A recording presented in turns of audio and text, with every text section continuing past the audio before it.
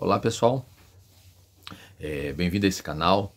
Para você que está chegando agora, eu me chamo Gilmar e esse aqui é o projeto Com Fé pela Estrada. E na viagem que nós fizemos, para vocês que estão acompanhando aí, né, o nosso, a nossa história, é, na viagem nós vimos que nós estávamos com um cheiro de, de gasolina dentro da Kombi. E nós estamos tentando resolver então esse problema do cheiro forte de, de combustível né, na Kombi. Então hoje, é, no vídeo passado, vocês nos, que nos acompanharam, vocês viram eu comprando alguma, algumas peças, algumas coisas que nós precisamos fazer aqui de manutenção. Então hoje nós vamos aproveitar e vamos trocar então esse retentor ou um anel de borracha, né? Que, que veda ali o, a bomba de combustível da Kombi e também este outro anel aqui de metal que é a trava, é a trava do medidor é, de combustível então ali da Kombi. Então é um trabalho a princípio simples, mas que dá um pouquinho de trabalho. Vocês vão ver que no vídeo, lá no início do, do projeto, eu fiz a, um, um, uma troca de boia de combustível. Então ali eu expliquei como é que eu fazia. E vou fazer da mesma forma agora. Vocês vão ver eu trocando ali. E, e com, não só com essa troca aqui, mas a gente vai fazer umas outras coisas que precisa na Kombi também. Nesse vídeo. Então acompanhe aí. Nós vamos estar mostrando para vocês aí um passo a passo e dando algumas dicas de algumas coisas que precisam ser feitas então na Kombi. Certo, pessoal? Acompanhe até o final. E gostando, deixa o teu like. Qualquer coisa, deixa o teu comentário. E também Uh, se não é inscrito no canal, né, aproveite e se inscreva. E aí você vai estar recebendo as notificações dos próximos vídeos, certo pessoal?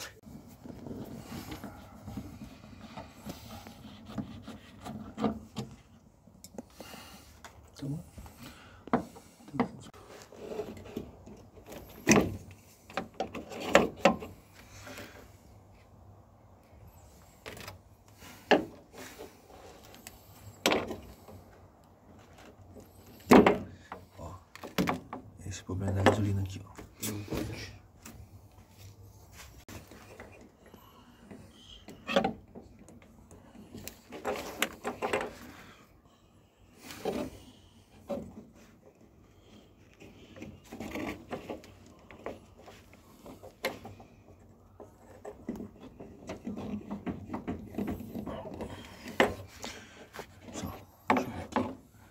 Se aperta ou se puxa.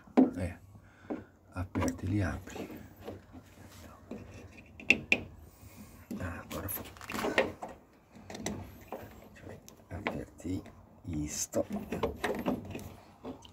Uhum. Até que não saiu muito. Ia virar uma piscina ali. Não saiu muito combustível. Muito bem. Está saindo mais. Tá. Muito bem. Isto.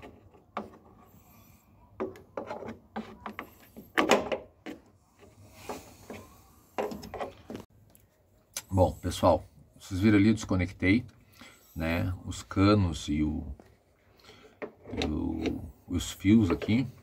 Agora nós temos que tirar essa arruela Mostra aqui, Vinícius, ó. Nós precisamos tirar essa arruelinha aqui agora, ó. Tá? Então, aqui provavelmente deve ter uma chave que os caras usam para tirar. Nós não temos, então nós vamos ter que tirar assim, ó. Com o martelo e com alguma coisa que dê para bater em cima, né? Que faça ele girar, porque ele é girado e é preso nos dentinhos ali que vocês viram. Então, para tirar é fácil. Para pôr, ele vai com uma pressão. Aí por isso que o Vinícius me ajuda depois. Eu não sei se a gente vai conseguir mostrar para vocês como nós vamos colocar. Mas agora, a princípio, é tirar e colocar esse material novo que nós temos aqui. Então, agora eu vou começar a tirar aqui. Ó. É assim, ó, galera. Ó. Nós vamos bater aqui nessas pininhas.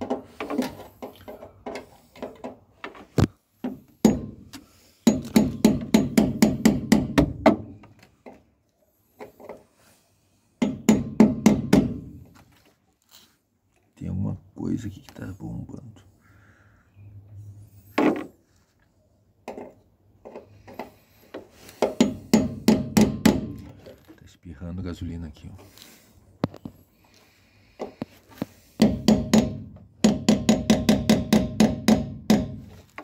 Tem uma gasolina ali em cima.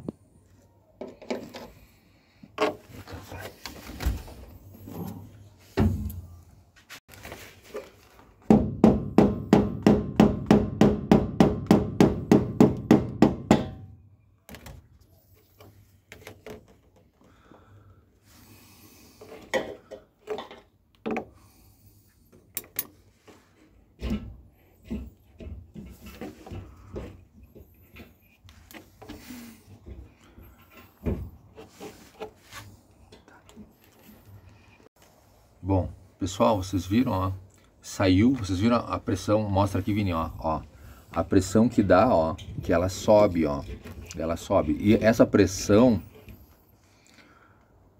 essa, essa pressão, depois quando tu coloca aqui, que tu vai apertar dentro, é que te incomoda pra, ó, pra apertar ela, tá? Pra fazer, esse, é, é, pra fazer esse jogo de girar. Então, uma das coisas que pode estar tá dando esse problema é isso aqui, ó. Ela tá bem gasta, ó. Ela tá bem gasta e talvez não tivesse, não esteja isolando o cheiro ali. Então, vou trocar agora. Também aqui, ó. Vocês podem ver, ela tá bem amassada, ela tá bem fora de... Ela tá muito torta.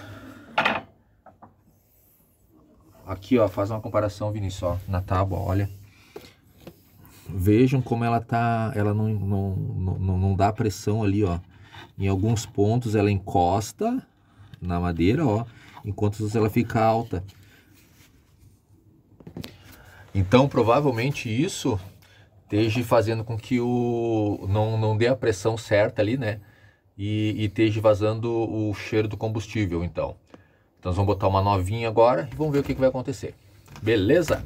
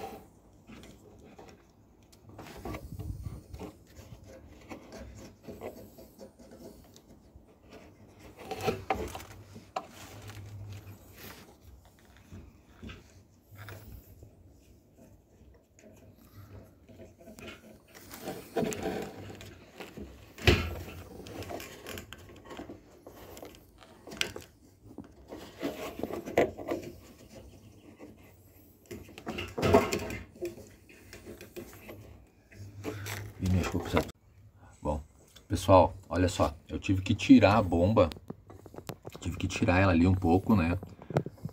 E para pôr a borrachinha, ela entrou bem justa, tá? Ainda bem, precisa de quatro mãos aqui mesmo para apertar bem, para encaixar ela e para ela ficar uh, firmezinha no local. Eu acho que poderia ter saído daqui o cheiro mesmo. Então, tiramos a, a bomba agora, vamos pôr aqui e vamos lacrar ela, ó. Ela é bem chatinha a gente de trabalhar. Vamos lá, colocar no lugar agora e ver o que vai acontecer.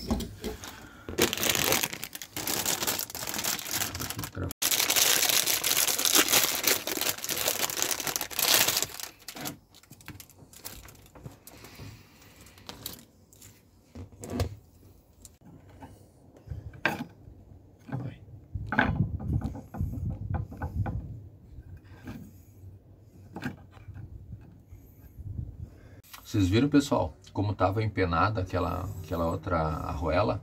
Agora vamos para a parte difícil. Essa partinha é chata. Vamos ver se vai dar certo.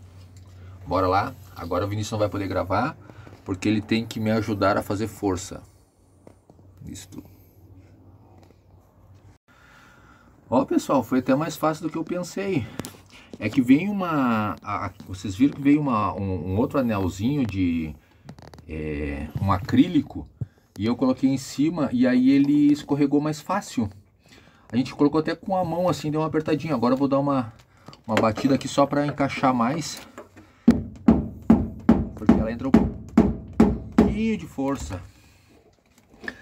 Vamos ver aqui se eu consigo um pouco mais aqui com a mão.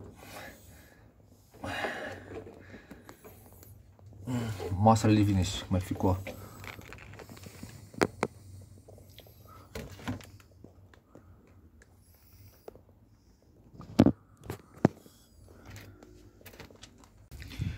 Bom, pessoal, colocamos. Até foi mais fácil do que eu pensei. Realmente, aquela, aquela essa chapinha aqui, vocês viram, eu mostrei para vocês ali, ela tá muito envergada, ela tá muito fora, é, né? Ela tá muito torta, tá muito torta. Então ela estava ruim de colocar. Das outras vezes, da outra vez que eu tirei, ela deu bastante trabalho. Dessa vez aqui a gente só fez uma pressão na, na, na bomba, né? Ela entrou ali, eu girei um pouquinho com a mão e depois o Vinícius foi fazendo pressão no, de um lado do outro e eu fui dando umas batidinhas e ela encaixou super bem. Agora é rodar com ela, né? Rodar com ela para ver se o cheiro vai, vai parar. E realmente ele deu, ela deu, uma, deu um giro bem, bem grande ali dentro, tá? Então, e deu um aperto bem bom. Percebi que ela ficou bem apertadinha. Então, provavelmente seja esse o cheiro que estava subindo. Ok? Então, agora, esse foi um, foi um do, do, dos problemas que nós precisávamos resolver. E agora vai ser do escapamento. O escapamento também se soltou os parafusos ali, queimou a juntinha que estava ali e, e tal. E tá dando um barulho estranho. Então, a gente vai aproveitar e vai trocar agora já. Bom, vou mostrar para vocês aqui, pessoal, qual foi o problema começou a dar roncar ela e tinha um barulho de lata. Vou mostrar para vocês aqui então agora.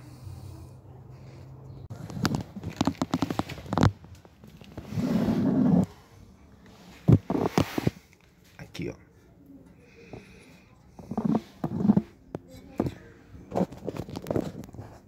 Então foi aqui, ó. Vocês viram ali, eu mostrei para vocês, ó. Aqui, acho que foi melhor. Então agora eu vou soltar, eu já apertei, os parafusos haviam se aflochado, né? Eu já apertei, coloquei mais um ali. Então agora eu vou trocar, tirar eles tudo de novo e colocar a junta, que nós já compramos. Certo?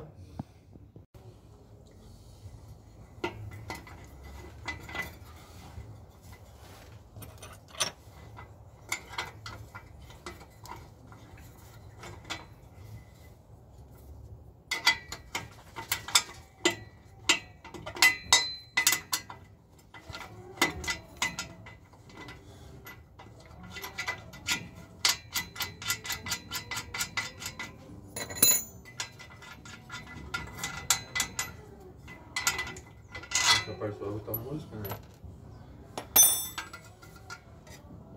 Bom, pessoal, eu achei um parafuso aqui. Eu acho que ele é de alta alta fusão aqui, ó. No caso, aguenta caloria, né? E já com uma, uma porca alta tarrachante aqui, ó. E eu vou pôr ali, porque daí não tem perigo de se soltar. E essa aqui é a junta, aquela que a gente comprou, que vai ali, ó.